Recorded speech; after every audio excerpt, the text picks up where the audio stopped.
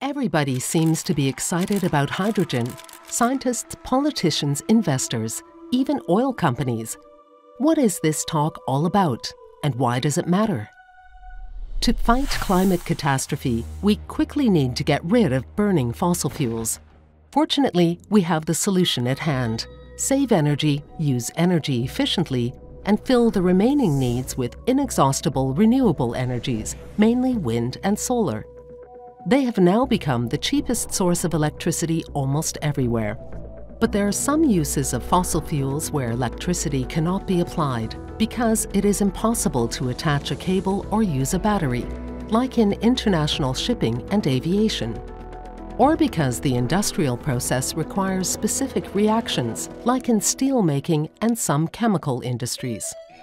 For such uses, and only for these, green hydrogen is your thing.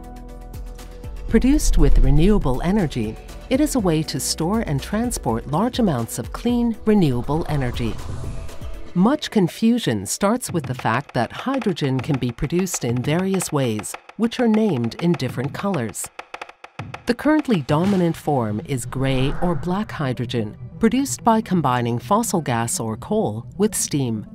Its production releases large amounts of carbon dioxide into the atmosphere, not clean at all.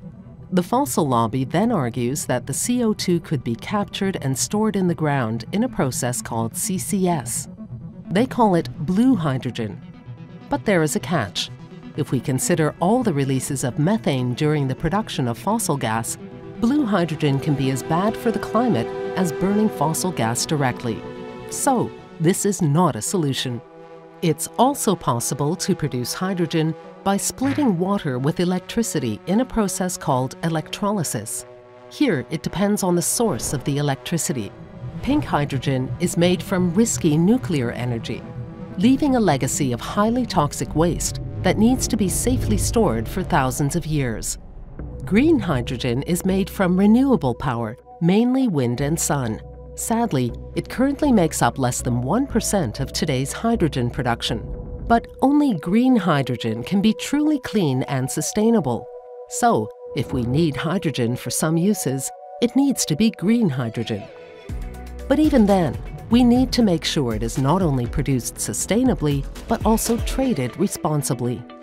Click here and learn more about it.